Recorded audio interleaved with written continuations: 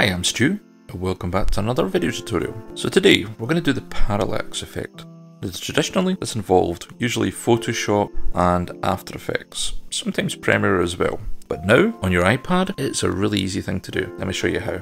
First of all, we're going to tap on an app called CapCut. If you're searching for it in the App Store, just obviously type in CapCut, and it's completely free for the moment. I think they'll monetize it at some point, but if you grab it just now, you're not to have to pay a beat. So we launch CapCut, tap on New Project, and then from there, we're going to work with a photo. We don't need to be in videos just now. Tap to Photos, tap on the image you want to work with, and then tap Add, let it do its thing. There's the clip, which is roughly about 3 seconds in length. Now I'm not too worried about the CapCut at the back.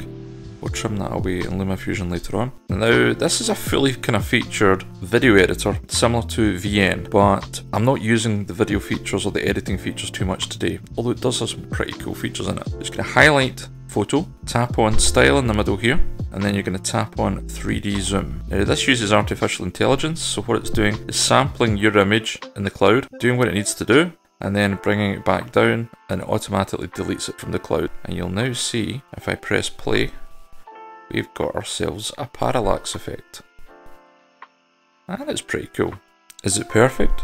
No, but it's 95% of the way there. And for the amount of time you're going to have it on the screen, it is more than perfect. So we need to export it and go to the top right here. You can see we can bump it up to 4K. I'm going to take it down to 24 frames a second because that's how I tend to have my videos. Don't need smart HDR on and then we just tap the little arrow pointing up the way that will export it. It already saves it to your apps folder so you don't need to go into likes of other and save the video. You only, only do that if you need to go to files or something. So we tap done tap home and next we'll go into LumaFusion.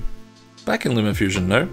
So we've got our clip selected of the wee boy and all I'm going to do is just set an out point to get rid of the cap cut at the back end, press W on the keyboard and that takes it into our timeline. Now you could leave it like this, you can see the effect getting played out. The only other thing that we probably do to it, to give that extra sense of depth, if we go into size and position within frame and fit, we set a keyframe at the beginning, scooch over to the end and set another keyframe and then increase the size just sort of 5% or something.